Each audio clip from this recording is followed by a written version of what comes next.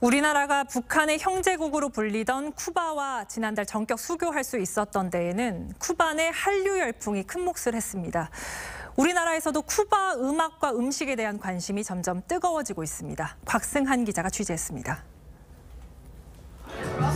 쿠바를 상징하는 장식이 가득한 펍에서 손님들이 흥겨운 음악에 맞춰 춤을 춥니다.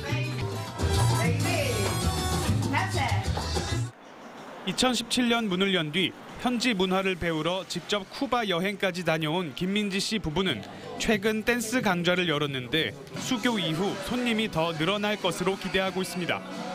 쿠반 살사 스타일이 또 다르게 있거든요. 문화 체험을 일반인들도 좀 다양하게 가지, 가졌으면 하는 바람으로 강좌를 열게 되었어요. 북한의 형제 국가로 불리는 쿠바와 전격적으로 국교를 수립한 데는 케이팝이 한몫했습니다. 아직은 미약하지만 국내에서도 쿠바에 대한 관심이 높아지고 있습니다. 대표 음식 같은 거를 먹을 수 있으니까 되게 간접적인 체험을 하기엔 좋았던 것 같아요. 국내 프로배구 최고 스타인 쿠바 출신 레오 선수도 기대가 큽니다.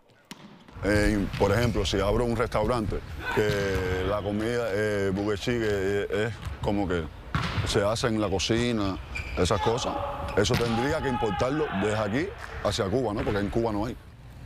아직 직항편은 없지만 쿠바 여행 문의도 늘었습니다. 직접 문의 오는 경우는 사실 한 달에 뭐 한 10건이 안 됐었는데 이번 주에만 문의 온게 거의 한 일주일 한 10건이 넘어요. 다만 쿠바를 방문했던 여행객은 전자비자를 통한 무비자 미국 입국이 거부되는 경우가 있어 주의가 필요합니다.